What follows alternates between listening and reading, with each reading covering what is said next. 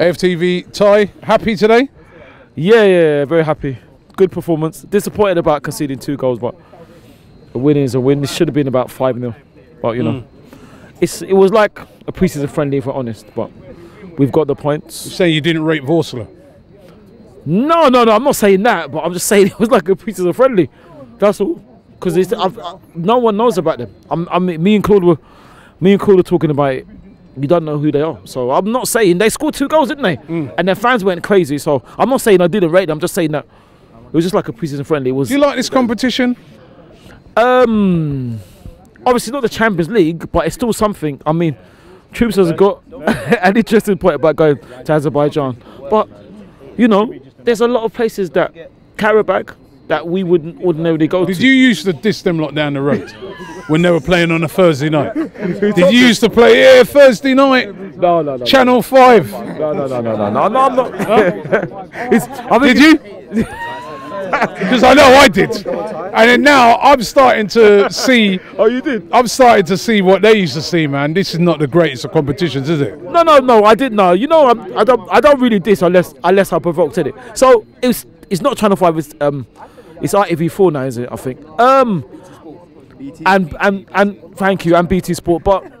I don't know. Did I diss? No, no, really. I didn't think it would happen. But we had hmm. 20 straight years. Listen, if it's a way into the Champions League, you need to take it. It's not the best, but then it's not the worst because you still have a chance. And you're hmm. going to places, you're playing teams that you've never played before and you might possibly never play again. So it's it's an eye open, isn't it? Because if, if we want to be in the Champions League, we have to make sure that we are not in the position we are hmm. now. All right, listen, rain's starting to come down, so I'm going to start asking some people this. Because this has been the big talking point of this week. It's been an easy win tonight, yeah. but Gazidis going.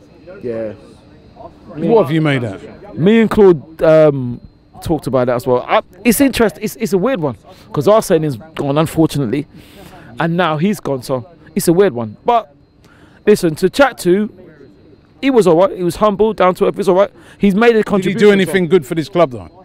Yeah, I think he did. What? I think he did. Bringing in players, winning a bit of trophies. I suppose Troopz is right. We underachieved, but he did. He did, he did something. He's, he's he's made a contribution. So I ain't gonna diss him. Okay, okay. Gazidis, you, you glad he's gone or sad? it's a bit of both, innit? Like, it is what it is, innit? He's gone, he's gone, innit? What can we say, innit? Like Wenger, innit? Troopz just said it, I swear, like two down, one to go, innit? So you're, you're not unhappy that he's gone? No, not really. It's like Troopz said, he's, look, he's, ru- he's ruined this club, and The only thing I think he has done, like, was bought Aubameyang. Like, do you know what I mean? But now he's going over to AC Milan. Was he going to ruin them too? What about you? I mean, to be honest with you, glad he's gone. To be honest with you, the only the only success that he's made from this club is getting Aubameyang. Apart from that, now he can go off to Italy, uh, go and splash out on Ferraris, go crash them as well at one time. Oh yeah, and get drunk off wine. So, good luck to him. Wow. Um, on the whole, I think it's pretty good, like Gazidis gone, because um, for the past year, I think he's done a lot of contribution, to be fair, in terms of like um, building the club structure, like the three men, like um, Mislintat, you've got um, Emery here. Um, at the same time, you cannot forget that, like a year before, um, he was kind of keeping Wenger um, in under the realm. So um, I think that's not really too good for. So you happy or sad that he's leaving? predominantly happy because of what he's done in the past year. But we do have to give credit to him for what he's done in the past year a- and uh, leaving Emery with us. And and let's see what happens with, with him at AC Milan because like he he didn't really make Arsenal great again. So let's see if he can make Milan great again. Yeah. I think Gazidis. I think Gazidis has done okay for the club. We should wish him good luck, good well, etc. He bought quite a few people behind the scenes. The transition did not start when Wenger left. The transition took place when Stan Kroenke's son came in and did an assessment of what was going on in the club, and from that we brought these people in from Barcelona. The director, So, the, so it wasn't Gazidis. it wasn't Gazidis. Gazidis So what's he done then? Gazidis has provided stability and he's provided a link between Kroenke and Wenger and given Wenger the freedom to run the club for many years. Yeah, but that wasn't a great thing, was it? That wasn't a great thing. However, what people don't see is Gazidis is gone, okay, Wenger's gone, we've got a new era. Don't underestimate the fact that Kroenke now owns the whole club. It was really sad for me to sell my four shares. Four shares in Arsenal have gone. Never in Arsenal's history have we been owned by one single person. That is not a good sign. We don't know, it might be okay. But we've always had four or five people in this boardroom that owned Arsenal. This is a very big transition. If the manager delivers, fine. Tonight, Iwobi, he's been benched and off for a few games. He's sharpened up, man of the match. I would start the next game with the back five. Give them confidence. Let them go. They were quite solid. It all depended on the opposition. If the opposition started the last 25 minutes in the first half, we don't know what might have happened. Okay. We don't. We underrate them. But signs are good. Let's go. I'm gonna. Is the rain's starting to come down, so I'm gonna leave a. I'm gonna leave a last word with you. Okay. Right. I'm gonna, did, did you want to say something? All right. Gazidis. Um, Happy. Sad. to be honest with you, I don't really feel either.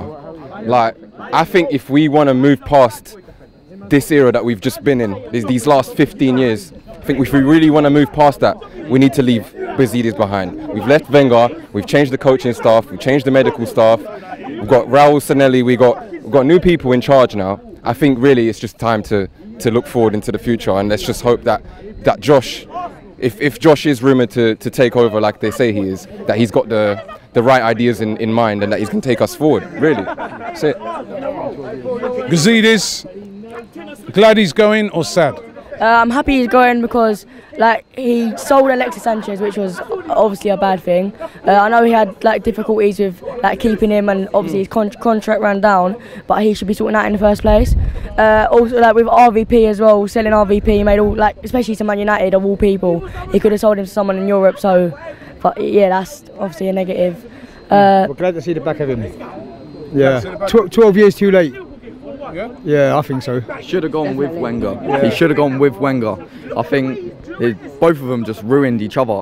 They weren't complement each other. Like you think, one time we was okay, and then things just went downhill. That's when, as soon as it started to go downhill, that's when they both go. But they left it way too long. I think the, uh, the, the, the positive thing about it now is the, is the new manager. I think he's going to bring some stability to it. The two losses at the start of the season, I think we needed to do that. Like Ozil running, walk, walking about, admiring his passes.